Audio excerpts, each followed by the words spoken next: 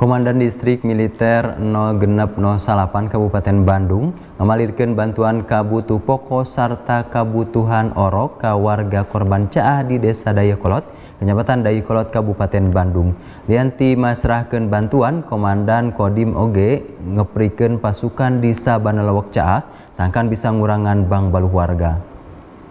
Tepi kaki wari mang ratus-ratus warga korban caah masih cari cing di tempat pengungsian anu disayagakan ku pihak pamarentah anu boga wenang.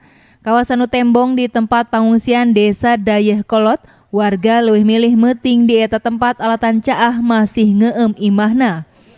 Minangka tarekah piken ngurangan bang baluh warga numatuh di pengungsian dan dim 0 genep 08 Kabupaten Bandung ngadeg-deg ka eta lelewek turta masrahkan bantuan anu mangrupa kabutuh pokok, simbut, serta keperluan orok. Uh, kami turunkan sekitar 50 orang ya di sini, kemudian juga di Bale Endah karena memang wilayah Kodim Kabupaten Bandung ini setiap tahun pasti di daerah Bale Endah dengan daya kolot apabila musim hujan terkena dampak bencana banjir. Apa aja yang tupoksinya yang di uh, kami membantu masyarakat untuk melaksanakan pengungsian bagi mereka yang memang rumahnya terendam, kemudian juga membantu memberikan bantuan bersama-sama dengan pemerintah daerah untuk membantu meringankan beban pengungsi.